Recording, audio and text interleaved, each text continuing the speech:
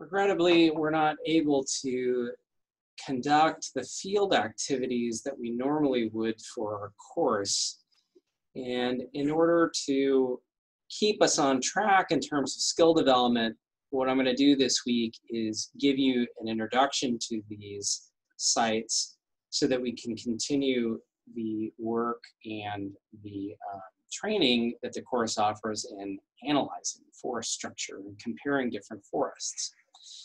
So we got seven sites that we're going to give you a quick introduction to. Um, this is the group last from last fall who collected the data that are being used this quarter in class. And I'm going to come back to this photo in a little in a little while um, in order to say something about the site that we're at. The first site that we work at is uh, or the first one that we want to highlight actually is a high elevation mixed conifer forest in the southern Sierra Nevadas. This is the Needles site. It's near the Needles rock formations in the southern Sierra. It's high elevation, seven to 9,000 feet. Um, and it's typical Sierra mixed conifer stand, white fir, red fir, ponderosa pine, and sugar pine.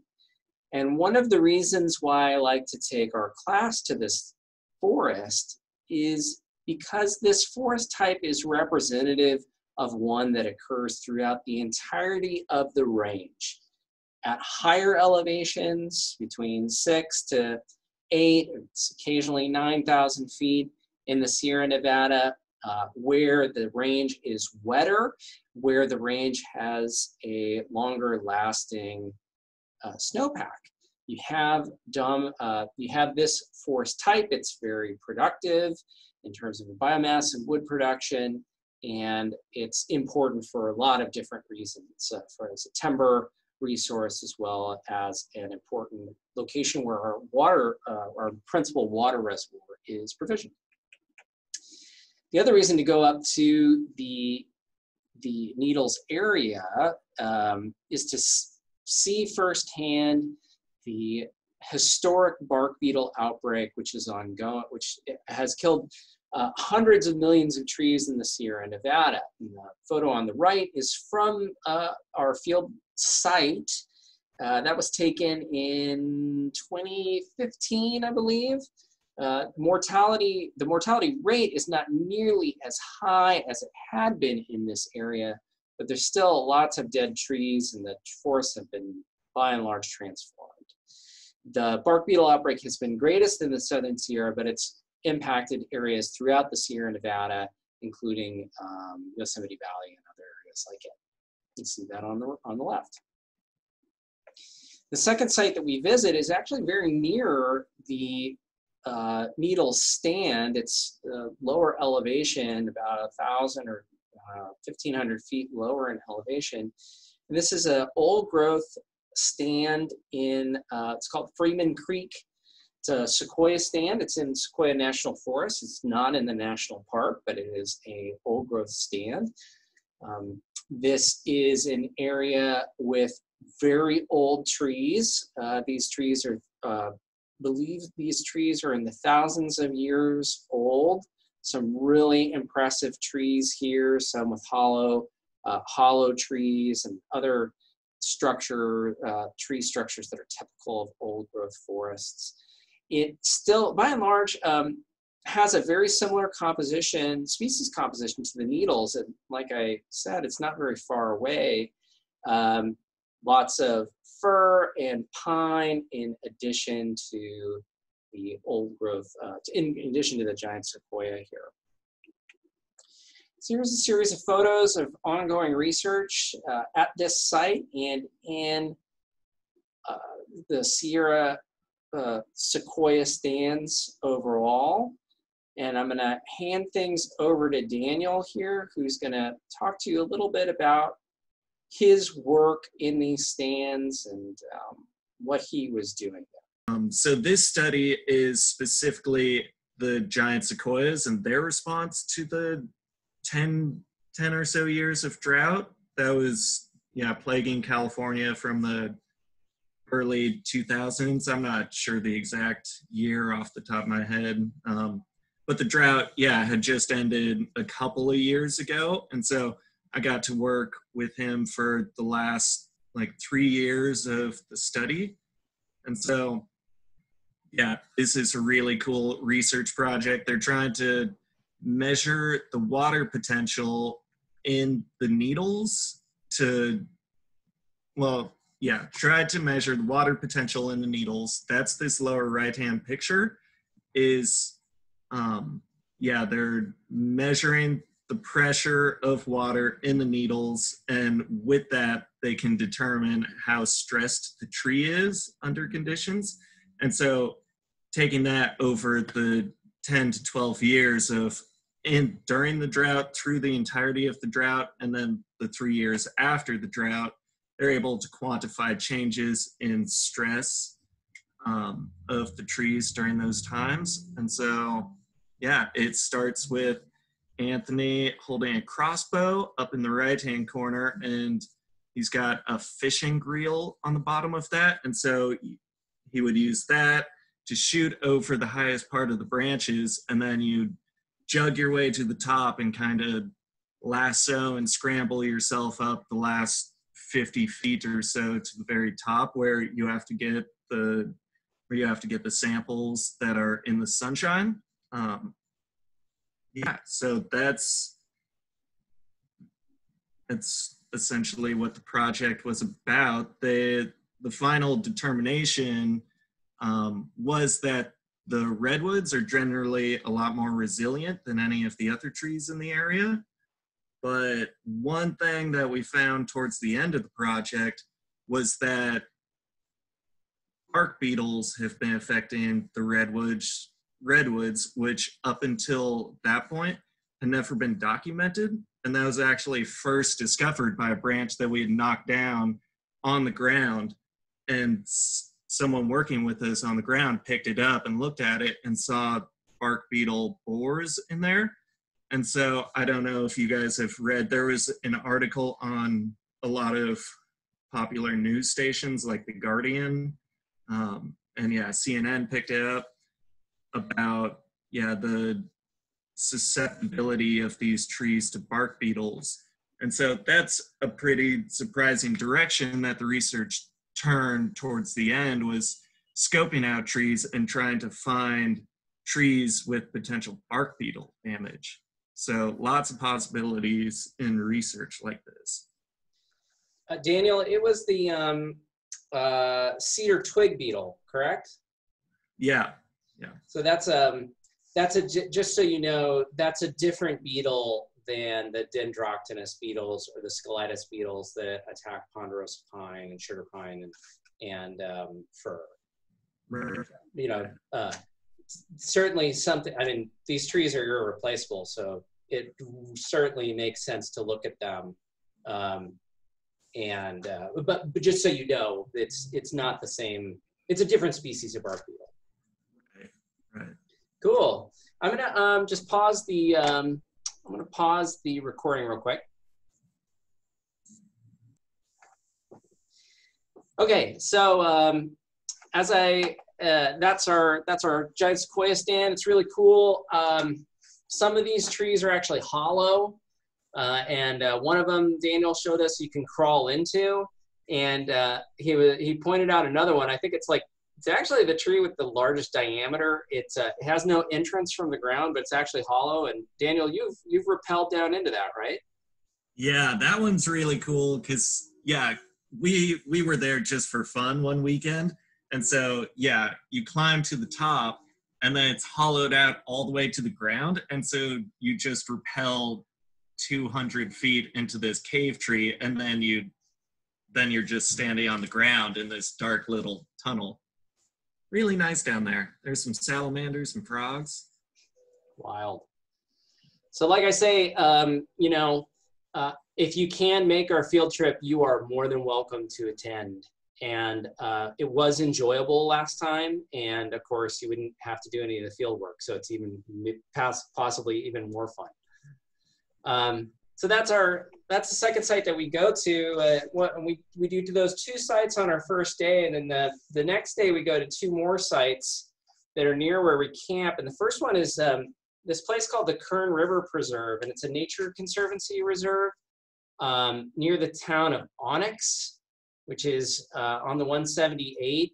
Uh, this is uh, this part of uh, the South Fork of the Kern River that flows through a um, this wide, uh, fairly flat valley, and it has what I what I think is what what is to, to my experience the most impressive Fremont cottonwood stand that I know about.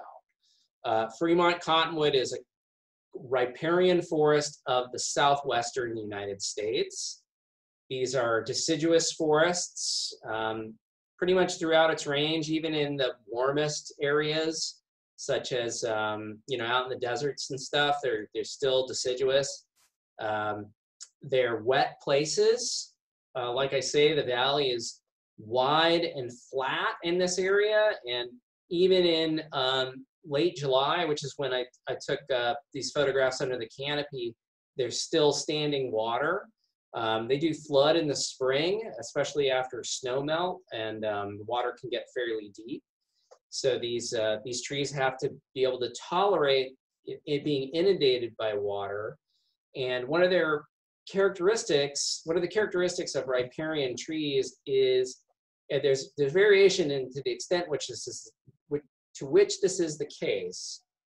But in general, riparian trees have part of their root system in contact with the water column or with soils that are generally saturated with water.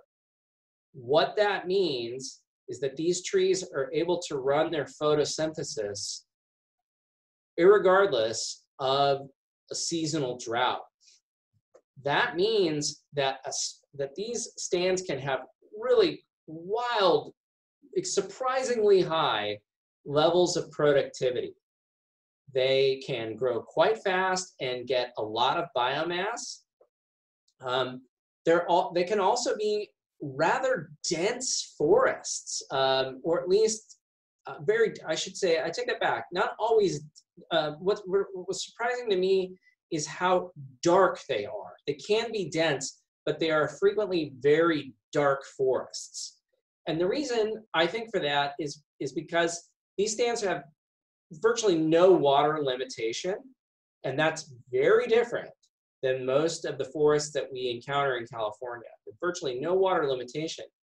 There's adequate nutrients here, and that means that all the competition is for light. So the results of that are canopies that are growing together, um, you know, growth, competition between trees for light. Uh, actually, in the areas, and this is on the farthest right photograph, the areas where you have um, established stands all overstory, there's very little in the understory, and, and you only find regeneration around things like this dead tree that you're seeing in the in the furthest right photograph. Um, so yeah, that's the that's the Kern River Preserve, Fremont Cottonwood Forest. It's all dominated by just virtually exclusively by a single species. There are a few other uh, species in there, including a few canopy species. A really interesting and um, kind of unique place. Uh, up there, Fremont cottonwood forests were more widespread in the southeast, uh, excuse me, in the southwest prior to uh, widespread extraction of groundwater and, and water diversion. But the, the Kern River Preserve is really interesting place. And then the last uh, place that we go on our our uh, weekend field trip is to Walker Pass, and um, this is not far from that Fremont Cottonwood stand. We, we drive about 25 minutes um, up the canyon to this location. And this is right at the crest of the, of the Sierra. We stand in Walker Pass and um, you know you can look to the east and you're seeing out into the Mojave Desert and you can turn around and look west and you're seeing back down into the Kern River Canyon. This is a dry pinyon pine forest. Um, that's me uh, during that trip, and you can see the, the Joshua trees, this uh, yucca relatives that are behind me uh, to my right. Um, you know, it's, it's hot, it's dry. This stand is also, has also been um, severely impacted by yet another species of bark beetle, the pinyon ips. And uh, pinyon ips has been has killed a lot of trees in the Sierra Nevada. It hasn't been as much of a newsmaker, um, you know, with the Dendroctonus, which has killed most of the trees in the Sierra Nevada. But um, oh, the Walker Pass area, it's it's right on the on the margins on this on this the edge of the range of, of pinyon pine. This is right when you're getting it from the transition from pinyon pine into grassland. And that's an area where there's there's going to be a lot of environmental stress even under the best of circumstances and it's not surprising that something that's a relatively weak bark beetle ips in this case might overwhelm these forests so um, the other thing to kind of point out and i have a tendency to take pictures of dead trees but i just want to emphasize that not everything is dead in this stand there are live pinyon. And in particular, when you revisit this photograph, this is the class, this is we're all celebrating, got you know, having gotten through the, um, the field trip here. This is looking back to the west, and you can see that there are hillsides where most of the trees are alive here. So just, you know, um, don't, don't misunderstand. This is, um, you know, there, there, are, there are patches where lots of, in this pinyon pine forest, patches of mortality and then patches of healthy trees. And this is just a, a photograph from the uh, from the east side. And um, when you go down out of Walker Pass and you look back to the west, it doesn't look like this. This is in Bishop, but it's just a picture of this Great Basin sage sagebrush ecosystems. And like I say, as you go down from Walker Pass, you leave forests, you get into dry areas. It's no longer wet enough to support forests, and everything changes after that. So this is right at that margin where we transition from forest to non-forest. It's why one of the reasons why we go there. Okay, and and actually the the the first that's our weekend field trip and kind of the the most exciting thing that we do in the class. Um, but the first uh, the first and last uh, field work sessions are actually local. Uh, what we do in the first, um, in our first lab for this class is actually go, just we just go to Poly Canyon to practice the field measurement techniques. We look at two different stands. One is a riparian forest in Poly Canyon, and, and the uh, riparian species in this local ecosystem are California sycamore. So again, a deciduous species, a species of tree that is in contact with the water column or saturated soils.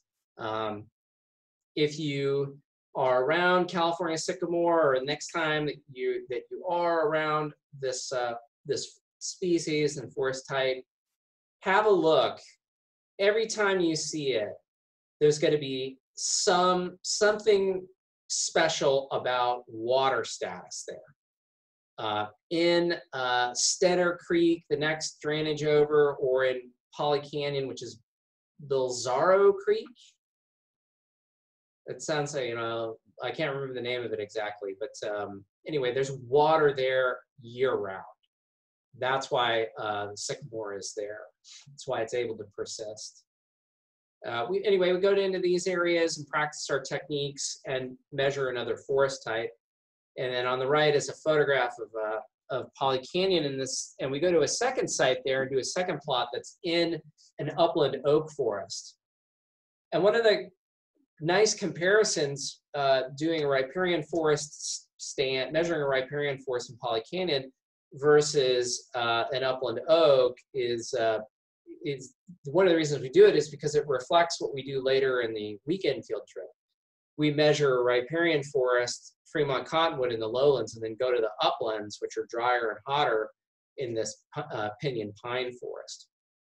Anyway, our, um, our our actually, sorry, uh, the typo here. It's our sixth site is uh, the Poly Canyon upland coast live oak forest. And it's a pretty familiar forest type.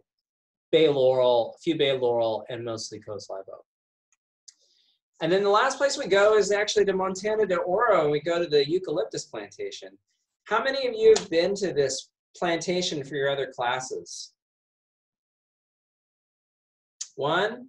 That's it? Two? Okay, three? Yeah, cool. Just curious. Um, it's uh, both like one of the crappiest places to go and also kind of um, kind, uh, kind of one of the mo more informative. The uh, the reason that I think it's useful to take forest ecology to this location is because it is a plantation.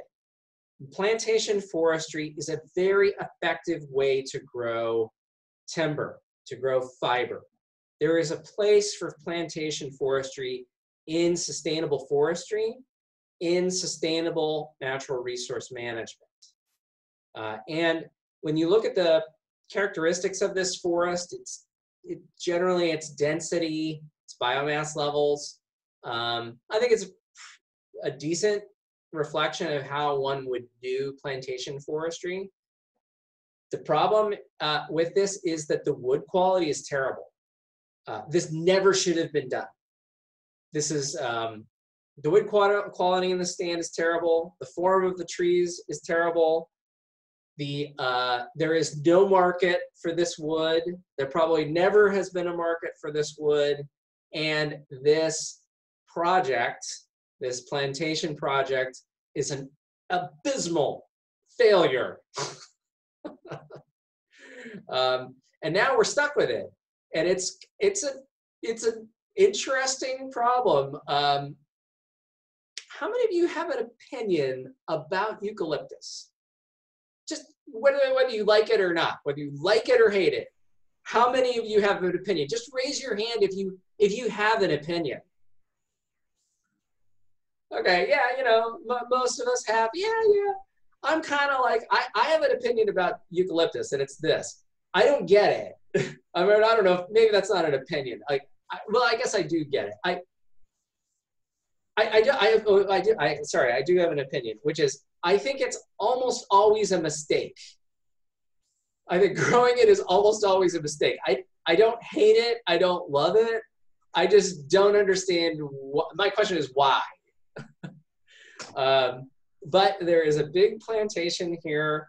It's kind of controversial. Some people would like to see it gone. Others value it.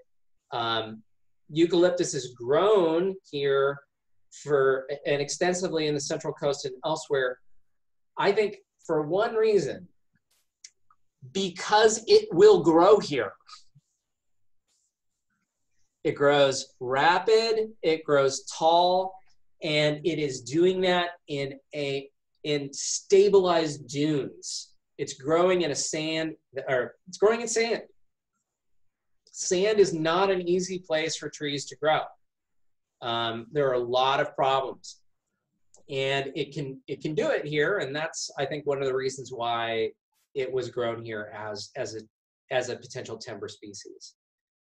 Now this photograph this graph and the uh, map here all from uh, brad collins. Um, if you know brad he just graduated in in may. And uh, uh slipped right into a job with the um, california state parks um, he sent this uh, report to me just last week. Uh, I think this was his first project with his his new job. Um, he went out, surveyed the uh, state parks forests, did a whole kind of analysis. Uh, I think worked up what I what seems to be unprecedented data to me about the density of these stands, the basal area, and uh, he has the interesting task of, of figuring out what do you do about this stand? How do you manage it? Should they be trying to reduce some of the cover of, of eucalyptus? Um, it's a huge project and it could be something if he gets it if he is able to resolve it in one way or another in the course of his career and keep in mind brad just graduated from cal poly he just graduated. If he can resolve this in the course of his career, 35 years, whatever, he will be throwing down, absolutely throwing down. So, um, anybody know Brad? I, yeah, cool. Yeah, great. I'm thinking that uh, he, like I say, he just sent this to me out of the blue last week, and I want to get him into our class. It's kind of talk to him about it. Like, how'd you, how did this all work out, and what the heck are you gonna do about it? I think it's got to be a real hard project, and I think that it's, um, but I think it's a good project. I think it's needed.